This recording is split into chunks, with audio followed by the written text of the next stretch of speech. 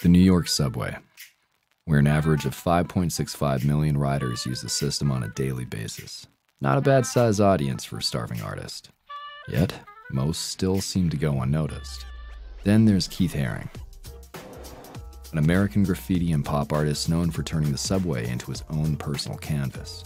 Born in 1958 in Reading, Pennsylvania, Haring fell in love with drawing at an early age, fascinated by the cartoon art of Walt Disney and the illustrations of Dr. Seuss.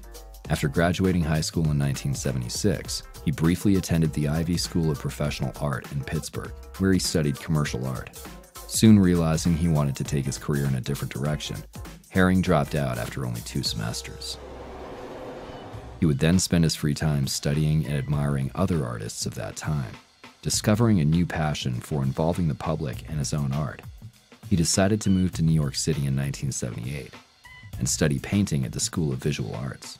This would become one of the best career moves he would ever make.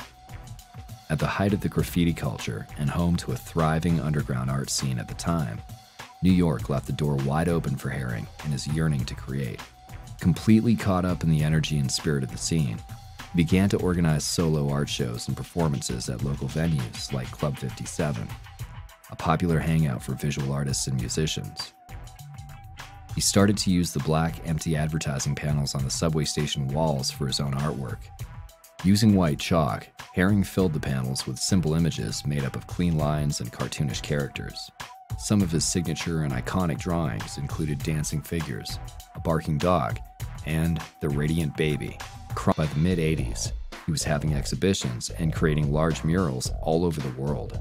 One of his most iconic murals was done on the Berlin Wall, where he portrayed linked figures in the colors of the German flag, symbolizing the quest for unity between East and West Germany. Throughout his career, Haring befriended other iconic artists, including Andy Warhol, Kenny Scharf, and Jean-Michel Basquiat, who influenced his artistic perspective in the ever-evolving art scene.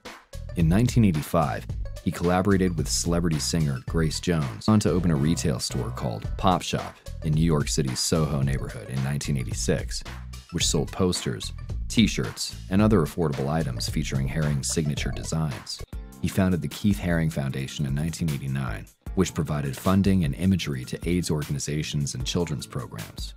A short time later, on February 16, 1990, Haring died at the age of 31 due to AIDS related complications.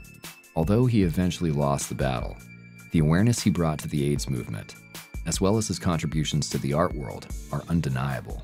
Through his foundation, organizations are still receiving support and funding to this day, and his work will forever be credited in helping to bridge the gap between the high end art world and street art.